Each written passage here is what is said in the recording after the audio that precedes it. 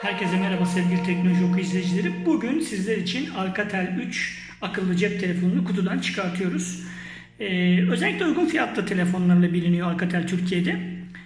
Bize de gönderildi sağ olsunlar teste yolladılar. Biz de hemen sıcağı sıcağına bu 5.5 inçlik telefonu kutusundan çıkartalım. Şöyle bıçağımızla bir şuradan bir açalım naylonumuzu.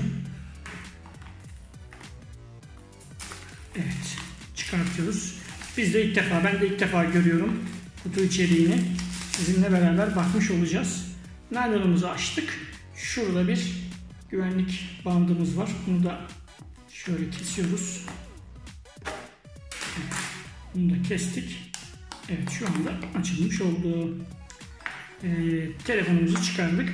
Bir yandan çıkaralım bir yandan da teknik özelliklerinden bahsedelim. Zaten şu an ekranda da görüyorsunuz. 5.5 inçlik HD Plus Full View 1440 720 piksel bir IPS ekranımız var. Telefonun özellikleri burada yazan bir menüde var karşımıza çıktı şu anda. 18'e 9 ekran alanı var. Zaten burada gösteriyor. 2.5 D glass diyor. Yani köşeleri yuvarlatılmış bir tasarım anlayışımız var ki son dönemde birçok telefonda var bu zaten. 16 megapiksele kadar diyor ana kameramız ama bu interpole edilen bir kamera. Yani aslında 13 megapiksellik bir kameramız mevcut. Ön taraftaki kameramız ise 5 megapiksel. O da interpolasyonla yani e, dijital olarak yazılımla çözünürlüğü yükseltilerek 8 megapiksel özellik sunuyor. Ve bu e, ön kameranın da yüz tanıma özelliği olduğunu belirtelim. Şimdi çıkaralım şu ekran şeyimizi. Bunu çıkardık. Telefonumuz böyle. Arka yüzünde de bir sticker'ımız var. Onu da çıkaralım. Şöyle şuraya yapıştırdık. Şunları şöyle koyalım. Şık bir arka yüzümüz var. Görüyorsunuz böyle yanarlı dönerli tabiri caizse. E, güzel bir telefon olmuş. 5.5 inçlik giriş seviyesi bir model az önce söylemiştim. 18'e 9 ekranlarımız var. 2 GB RAM, 16 GB dahili hafızamız mevcut. MT6739 4 çekirdekli işlemci bulunuyor. Az önce söylediğim arka yüzdeki kameramız 13 megapiksel ama interpole edilerek 16'ya çıkartılmış. Arkada bir led lambamız da mevcut. Öndeki kameramız ise 5 megapiksel. O 5 megapiksel 8 e, çıkartılıyor yine e, benzer şekilde. Arka yüzde fark ettiyseniz bir parmak izi okuyucumuz mevcut.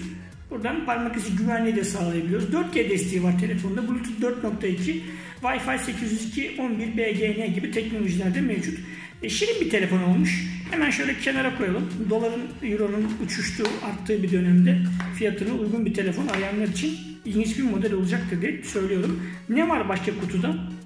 Çıkartalım bakalım işte kılavuzumuz var. Güvenlik ve garanti bilgileri. Telefonla ilgili kısa bir bilgilerin yer aldığı bir kısa bir broşürümüz var. Ne nasıl yapılacağını söylüyor. Sonra teknik servisle ilgili bazı bir dokümanımız mevcut. Başka açalım bakalım burada ne var. Burada kablomuz var galiba. Evet şimdi açtım ben de kablomuzu. Evet micro USB kablomuz var burada standart. Bunu da bir kenara koyalım. Kulaklığımız var standart olarak. Şunu da bir çıkaralım gösterelim. Çok basit bir kulaklık koymuşlar. Maliyet noktasında dikkate alarak anladığım kadarıyla. Sonra başka ne var? Evet bu sim kart yuvası yan yüzde olduğu için bunu açmak üzere tasarlanan bir demir parçamız var. Bunun yanı sıra bir de adaptörümüz var tabi haliyle ve doğal olarak. Bunun dışında başka bir şey çıkmıyor kutudan. Bir kılıf vesaire gibi bir şeyimiz yok. Şunları içine koyalım.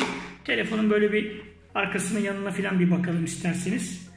E, önden bakıldığında sim kart yuvamız mevcut. Bu sim kart yuvası aynı zamanda e, microSD bellek kartı koyabiliyoruz.